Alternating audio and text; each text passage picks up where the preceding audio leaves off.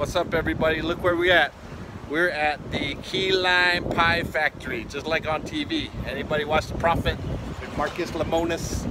Well, this is it on Green Street right here down in Key West. This is it. The famous Key Lime Pie Factory. How cool is that? Huh? Look at that. Look at that. They're making they're making the key lime pies just like on TV. See that? Like just like on TV. How cool is that? Huh? But got some candies from Sweet Beets. Sweet Beet candy, big lollipop. What you don't see is any customers. There's no customers here. But I think I'm gonna have to get a piece of key lime pie just because it's famous. So wish me luck. See you on the next episode of The Profit.